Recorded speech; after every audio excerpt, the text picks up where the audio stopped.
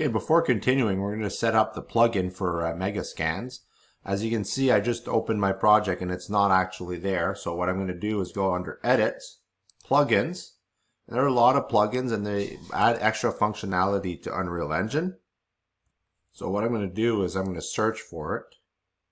If you set up everything properly in your, uh, it should be there. If for some reason it's not there, it means that when you were in Bridge, you did not set up your export settings properly. I'll just show you quickly.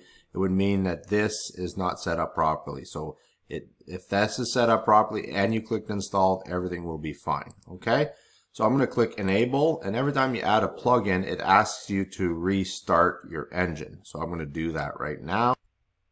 Okay. So it just redid that. Okay. I'm going to just close this right now and I will see that it's here.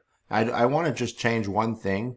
Um, we're not going to get too in details about materials, but one thing that uh, displacement does is it makes it look uh, kind of, you know, gives it a three-dimensional look. So yeah, by default, it's not enabled. I don't know why.